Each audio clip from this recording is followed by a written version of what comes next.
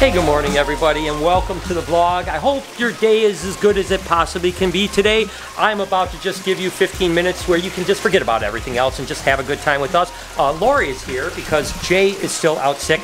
No worries. Wish him best in the comments, but he's getting better. He's not got a terrible thing, just a little bit of a head virus thing. Uh, he felt great today, but I told him, to give him one more day. Uh, let's go ahead and get this thing out of there. So Jay will be back tomorrow. In the meantime, you've got myself and Lori, and uh, Bruce and Jessica are here too. I'm to hand the camera off to Lori here, and I'm to follow the, this way. Again, uh, we want to just get a little socialization on these iguanas, and I wanted to give you a little update on how Heinz, the crimson albino that lost its tail is actually doing. And you can see he's doing very, very well, chunky as could be. When an iguana loses its tail, the problem can be is that they can stress out and stop eating, and that's when they're a problem. This guy is just a little chubber and chowing down food a lot, but we're continuing to try to habituate him. And if you notice how I'm trying to handle this, I'm not grabbing him, I'm not restraining him, I'm slowly letting him go, and you can see in just no time, he actually calms down. That's how you actually work with monitor lizards, with iguanids, and most other lizards, and even crocodilians, is you never want to restrain them. You want them to feel like it's their thing, and just slowly work with them. And over time, he's going to continue to say, oh, that wasn't that bad, and he's going to get tamer and tamer. So as this guy has his tail growing back, and his tail will probably grow back, mostly, it'll be a little bit different color. It won't be as bright, unfortunately, but you can even see a little bit of a nub right there where it's already starting to grow only after a couple days, which is really good. And I just wanted to update you on the fact that it's doing so well. It's eating, you can see how chubby it is. And again, the habituation with me socializing him is something that I'm so excited about. You can see how just in a matter of minutes, how absolutely calm this guy gets. And you can kind of use that technique to do a lot of things. Now, some things don't calm down as quick as this guy does, but the goal in the future is to get to a point where he doesn't freak out at all. I can just lift him up and take him right out and he calms down. And that's again, like I've been mentioning in the last couple vlogs about creating threads of amazing experiences for these animals and I couldn't be more happy with how beautiful Heinz here is even though he doesn't have a tail right now like I said he'll grow back and he is a wonderful animal. Looks like you've got some help today, huh, Lori?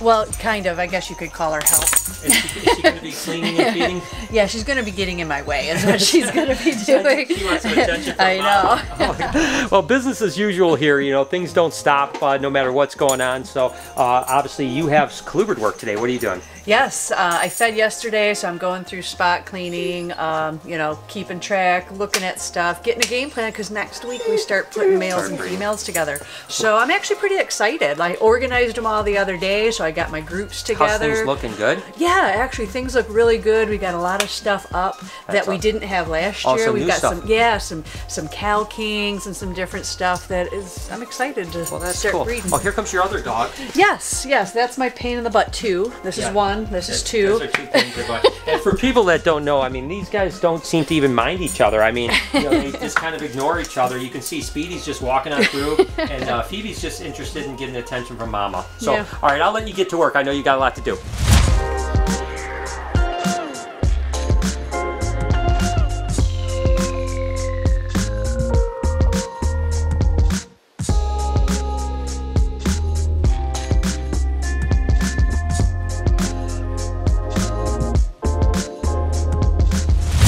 Let's go. Get in here. Come on. Keep going, buddy. Keep going. Keep going. Thank you. I told you, I've been training this guy. He went into the offices. I told him, let's go and get over here. And uh, now he's just coming over and hanging out. So uh, I tell you, you could train a tortoise. I'm telling you, I'm going to have this thing doing tricks by the end of the summer. Take a look at these mossy frogs right here. They're so absolutely adorable. There's actually four of them in here. Oh, there's another one right over. Oh, there's two of them. There's the one right here and then one right over here. So there's four mossy frogs in here. And I love this whole enclosure. It's just really cool. I mean, they're neat little animals for sure. And then, of course, I wanted to show you my little emerald tree boa baby that's doing really well, eating and just crushing it. So that's really cool. And again, that's one of the things that I'm loving right now is spending even more time just kind of hanging out with the animals. You know, I'm usually so busy with all the events that we do and obviously being open at the Reptarium. It's, uh, I miss it. I miss it more than I could ever tell you, but it does give me time to kind of just enjoy things a little bit more here without all the hustle and bustle of things. I mean, look at Perdita, how absolutely incredible she is. But I did want to ask you guys, I don't know if you know this about me, but I don't watch TV. Like, I, I haven't watched a series in forever. I take that back. I actually did watch one series recently on Netflix called Locke and Key, which was absolutely, it's the first series I probably watched in five years.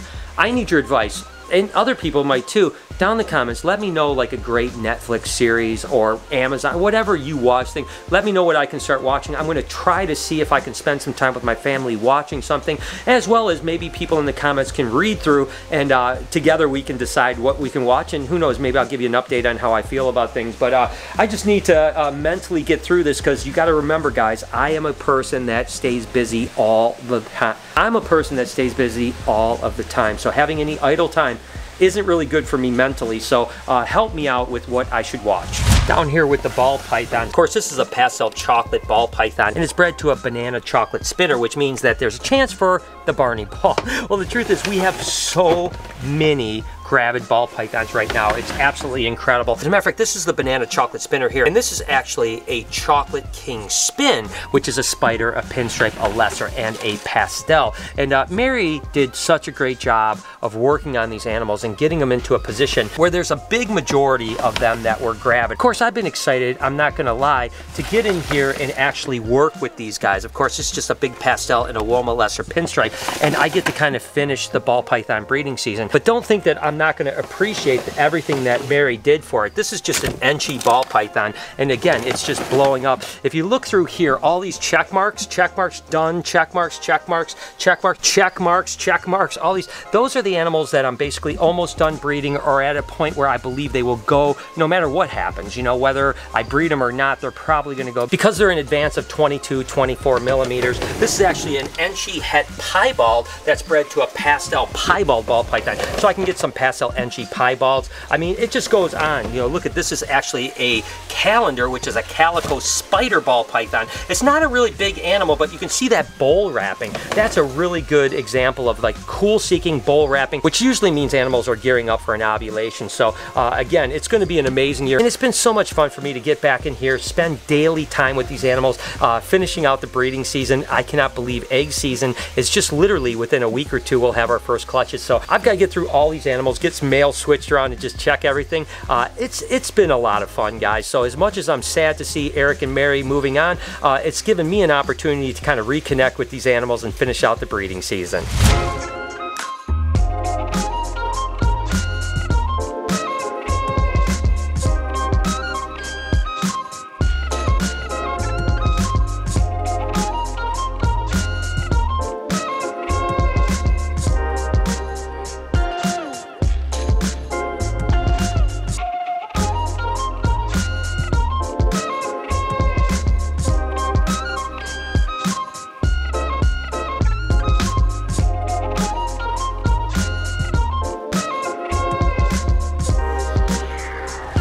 To spend as much time as I can just appreciating the beauty of the animals that we're working with these days. And uh, with this little slowdown, it's given me the opportunity to take a little bit of a breath and just realize how lucky I am to spend time around these amazing animals. Of course, this is a gray banded king snake. This is the alterna phase, which just basically means that it has either little to no red on it. Now, sometimes they'll have like skinny black bands and then skinny red bands, and then that can be alternating. And that might even be why they call them alterna. You can see this guy just has a little bit of red on his neck, but other than that, it's pretty much just black and gray. And then of course, this is what they would call the Blair's phase, which is that big orange banding with the triads of black that band around them.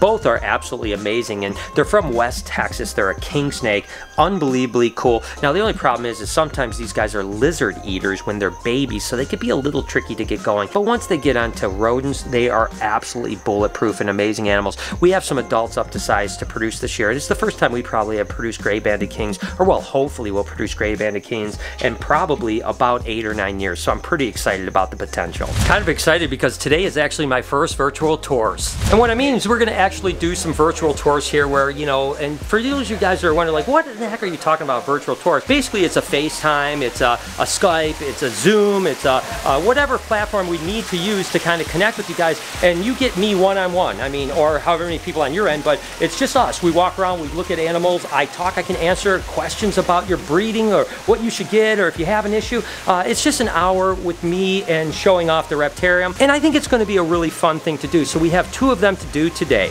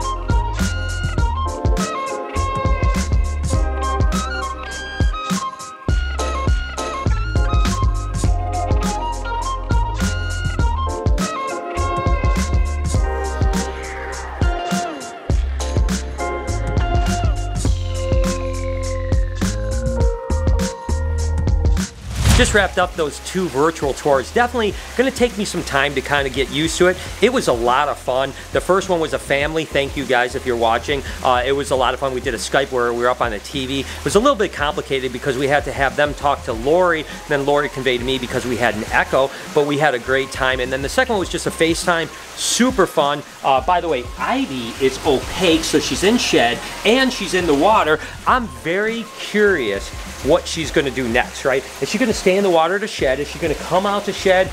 Obviously, I think she's going to shed pretty well because she's obviously very moist because she's been in the water, but uh, it's pretty interesting. All these new things that were experienced at the Reptarium for the very first time, you know, how the animals are doing. I mean, like, again, Cupcake is down now, but she's half the time is up in here, which blows me away. By the way, Darwin, the Centralian, again, when it was over at the other Reptarium, didn't eat for like two months, then started eating, and then we moved it back to BHB because we just replaced it with actually toothless, believe it or not. But it's eating now already in the first week. Again, we had Al Machino. He ate finally after about three weeks of being over here. So it's an interesting thing just to kind of learn this stuff and see how things are reacting. And so far, it's been overwhelmingly good. As a matter of fact, I'm trying to think if there's anything left. Oh, you know what? There is. The only two animals that didn't eat this week were the black-headed pythons. But ironically enough, both of them, which by the way, look at them just cruising around. I mean, they are so cool. But both of them are actually going into shed right now. So hopefully when they shed, they'll eat. But other than that, every animal over here is now eating and doing well, so that's pretty awesome. Oh, by the way, really quick, Eric and Noah and I was jumping in for a little bit, actually are downstairs doing a podcast right now, so I'll put a link in the description. You can watch that podcast. It was really fun. I joined them for about half it. They're still going, so uh, it, it's always fun to have Eric and Noah together. It's actually pretty beautiful out here. The sun is starting to go down. It's been a long day of work, but uh, it's been amazing, and I'm so thankful that I get to not only share my life with you guys, but also get to do something that I truly love, and uh, it definitely keeps me busy in these times and I'm thankful for that and again want to be here as much as I can for you guys. And again I want to just keep on bringing it up but let me know what else I can do for you guys. Let me know in the comments what you would like to see over the coming days because we can't travel, we can't really adventure so we have to be here so I want to know what you guys want to see from me so that I can help take your mind off of the things in life and remember guys it's not going to be easy, but we're going to get through this. We will get to the other side. And if we could do it together without trying to create toxic communities and negativity, do the best you can do to enjoy the things. Enjoy your family, your friends, your animals, all those things. And together, we will get to the other side of this. So thank you for joining me and thank you for all of your support. Stay safe out there. I love you guys so much. Like I mentioned before, did a podcast today. Do a podcast at least twice a week. Right over here, you can subscribe to it. It's called Checking In. You can roll through an entire playlist right here. On this side, you can subscribe to the vlog channel, turn the post notifications on. Jay will be back tomorrow, so the videos will get a little bit better again. I apologize about that. Have an absolutely wonderful day or the best you possibly can. I'm here for you guys, and I love you, and I will see you tomorrow.